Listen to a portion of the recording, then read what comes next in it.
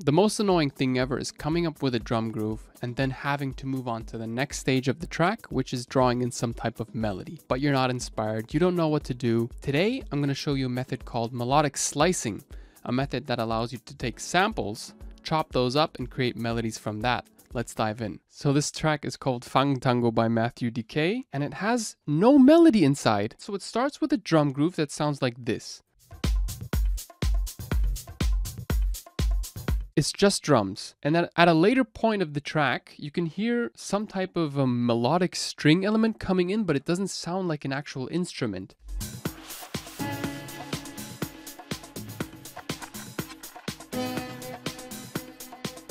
It almost feels like it's just a snippet of an instrument. And notice how those instruments really capture your emotion despite being played very shortly.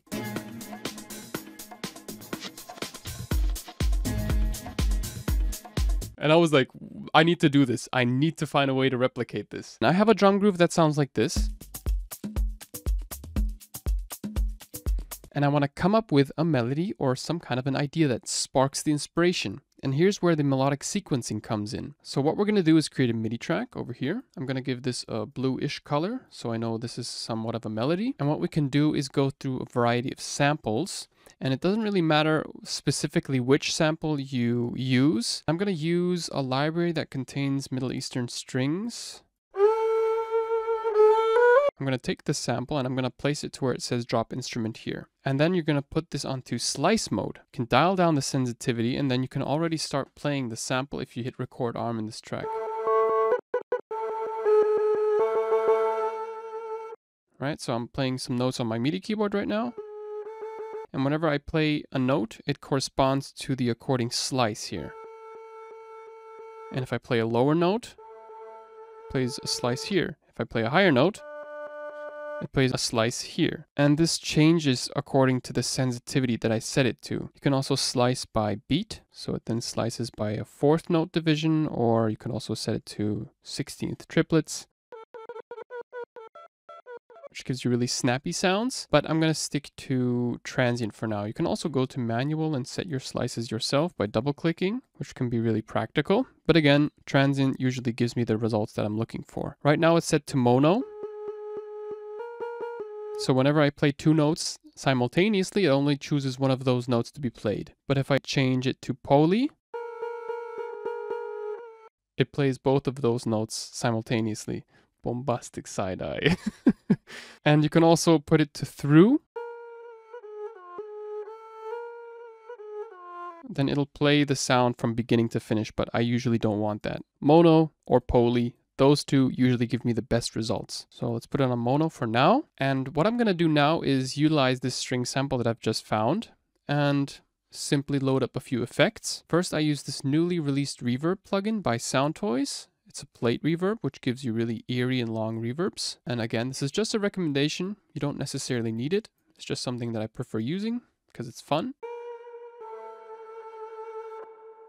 Yeah, set it to a decay time to about four and take out the low end here. Make sure that the dry wet is set to around 50% and then you can just start switching through these modes here.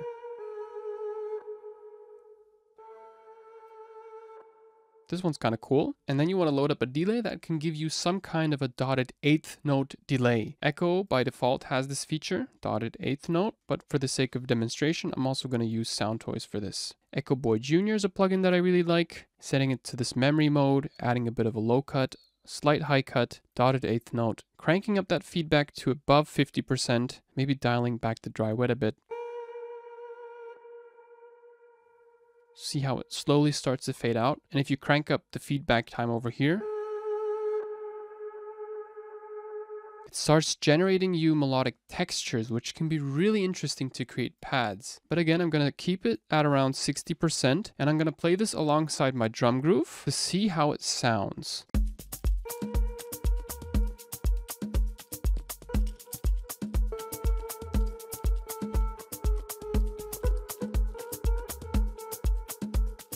Right, so a couple of dissonant notes. For these long performance sounds, there's usually a lot of improvisation going on, so that includes notes that I don't necessarily like. Therefore, I'm just going to go into a different sample pack containing any type of melodic sample, and that doesn't really matter. I know that in Tulum I have a couple of ambient swells that you could take as well. For example, this one here. Notice there's a bit of a click at the beginning there. You avoid that by adding a bit of fade in time. Perhaps like 2 milliseconds is enough. And to create a more plucky sound, you can just drag this fade out to the very top. And as a matter of fact, you can also change the pitch of the sample over here. So if you play that with the drum groove now,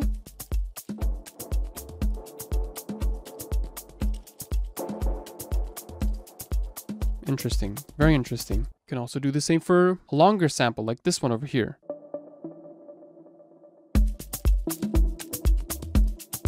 Nice. And to give the sample a bit more variety, you can go into controls and use this LFO section over here to add some more movement to the sound. And what I usually like doing is giving the filter a bit more movement. So let's go back into sample first and select a sample that isn't as plucky as this one here. Maybe one that's a bit longer.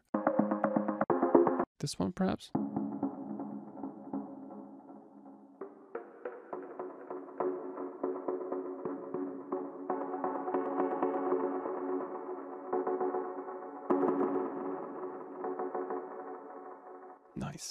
So again, controls, use this filter knob, dial it back down a bit, give it a bit of resonance, a bit of peak here, you see. Start getting this really strange dub delay type sound. And then you want to use this LFO that seems to have this shape over here to automate that filter. So crank it all the way up. So you're getting a bit of a sweep, like a twink, twink, twink. but we want different movement, right? So we're to select notes. So it actually syncs up with our host tempo of 120 BPM.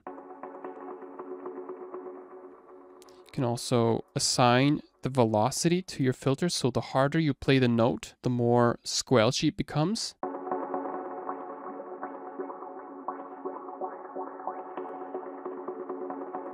Really interesting. And you can also map this LFO to your panning so the sound pans more within the frequency spectrum.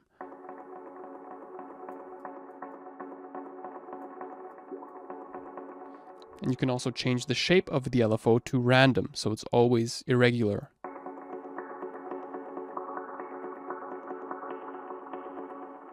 Transpose it down perhaps. That's lovely. You can also change the pitch.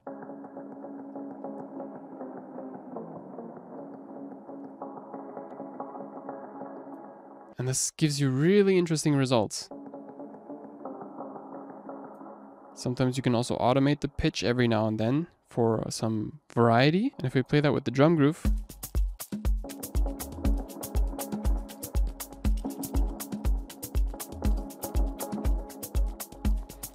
But again, I'm going to scroll through my sound until I find a proper sound. And you can really take anything for this. You can also take some kind of vocal, you can take guitar sounds, marimbas, for example here.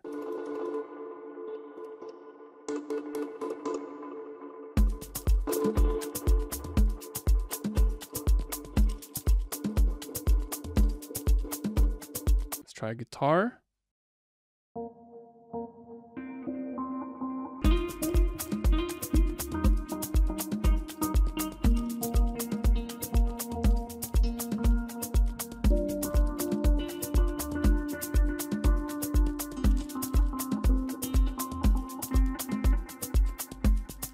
Well, if that isn't beautiful, then I don't know what is.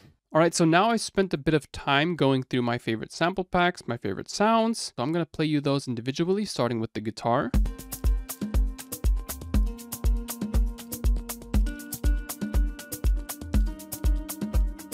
And then we have this ambient swell.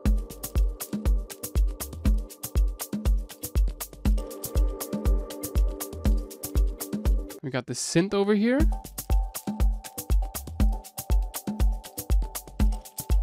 Some song starters.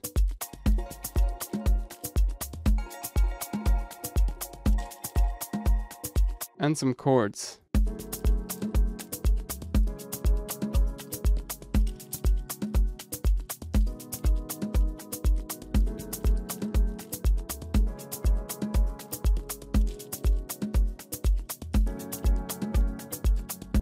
Nice. Thank you so much for watching this video. If you like these sounds, feel free to grab them using the link down below.